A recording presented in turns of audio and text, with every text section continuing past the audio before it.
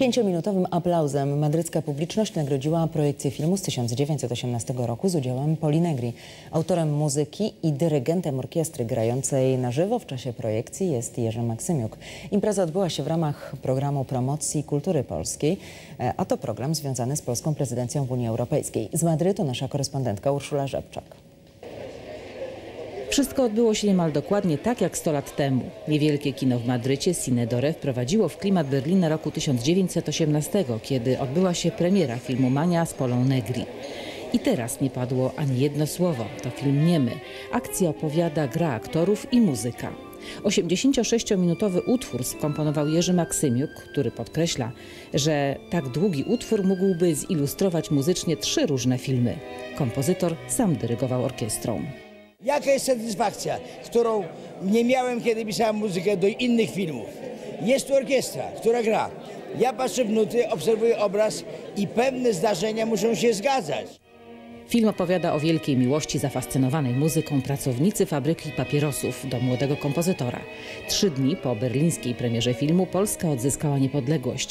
Niedługo potem Pola Negri zrobiła oszałamiającą światową karierę. W ramach programu kulturalnego na prezydencję Polski w Unii Europejskiej film otrzymał drugie życie. Poprawiono jakość starych kopii metodą obróbki cyfrowej. Mamy takie możliwości. Była to świetna okazja, żeby pokazać e, i w Polsce, i na świecie, że Polacy potrafią stosować najnowsze technologie bardzo skutecznie. I film, i całe przedsięwzięcie zachwyciło madrycką publiczność. Rzadko bowiem na tak wysokim poziomie artystycznym można cofnąć się w przeszłość, a publiczność tu wymagająca. Zabłysnąć w Madrycie nie jest łatwo. To miasto tętniące kulturą rzeczywiście trzeba się pokazać e, w najlepszy sposób, żeby móc zadziwić Mad- Madrylenios, mieszkańców Madrytu i Hiszpanów w ogóle. Madryt jest jednym z kilku miejsc na świecie, gdzie ocala się od zapomnienia polskie gwiazdy i jednocześnie prezentuje dokonania polskich współczesnych artystów i technologów. Z Madrytu dla TVP Info Urszula Rzepczak.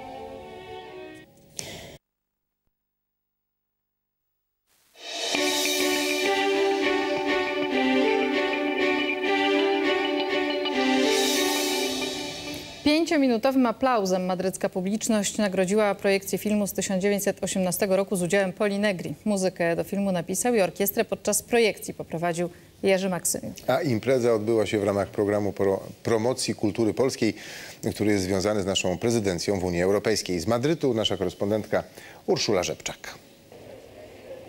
Wszystko odbyło się niemal dokładnie tak jak 100 lat temu. Niewielkie kino w Madrycie, Cinedore, wprowadziło w klimat Berlina roku 1918, kiedy odbyła się premiera filmu Mania z Polą Negri.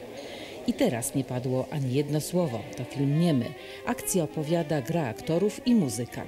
86-minutowy utwór skomponował Jerzy Maksymiuk, który podkreśla, że tak długi utwór mógłby zilustrować muzycznie trzy różne filmy. Kompozytor sam dyrygował orkiestrą. Jaka jest satysfakcja, którą nie miałem, kiedy pisałem muzykę do innych filmów? Jest tu orkiestra, która gra. Ja patrzę w nuty, obserwuję obraz i pewne zdarzenia muszą się zgadzać. Film opowiada o wielkiej miłości zafascynowanej muzyką pracownicy fabryki papierosów do młodego kompozytora.